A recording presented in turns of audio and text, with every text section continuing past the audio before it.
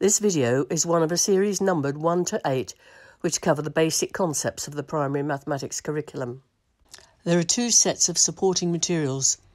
One is the Maths Mesh Guide, a summary of research knowledge and pedagogical knowledge.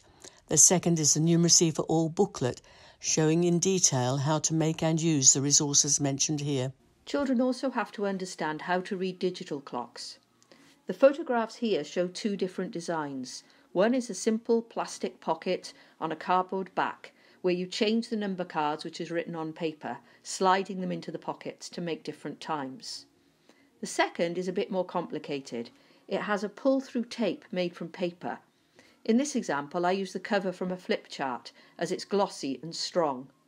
You just pull the numbers through to show the times that you want. In this example, there are three slits in the cardboard. The first one would be for 1, and instead of 0, you could just leave it blank. In the second slit, you would have 0 through to 9. And then in the third one, which is double the width because it's for the minutes, this clock tells the time of o'clock, quarter past, half past, and quarter to. So your times would be double zero, 15, 30, and 45. So when it comes to using it with the children, these can be made quite large so they can be used as class demos. So the teacher can ask the children to make a time to tell you the time. Some children come out and use it, or you could give it out to the children and use it in groups. You could also hold up the digital t- clock and then ask the children to perhaps make the same time using an analog clock. So plenty of different ways that you can use it.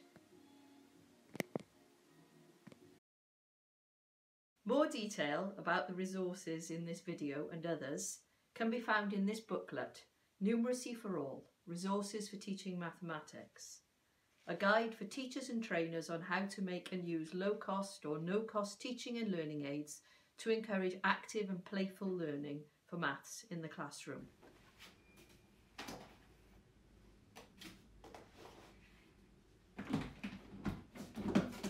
Okay, let's go and teach some maths.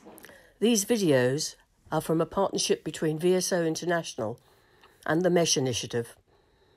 Both organisations have a commitment to share knowledge freely around the world for the benefit of teachers and learners.